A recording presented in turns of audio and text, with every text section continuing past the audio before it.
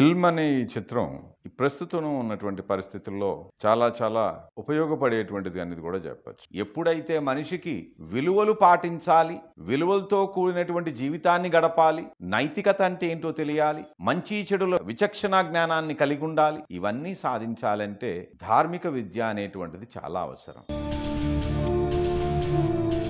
ఇల్మ్ అనే ఈ చిత్రంలో నా పాత్ర ప్రముఖ పాత్రగా చిత్రీకరించడం జరిగింది. చాలా ముఖ్యమైనటువంటిది ప్రధానమైనటువంటి పాత్ర మన డైరెక్టర్ గారు చాలా గొప్పగా ఈ చిత్రంలో చూపించడం జరిగింది నన్ను.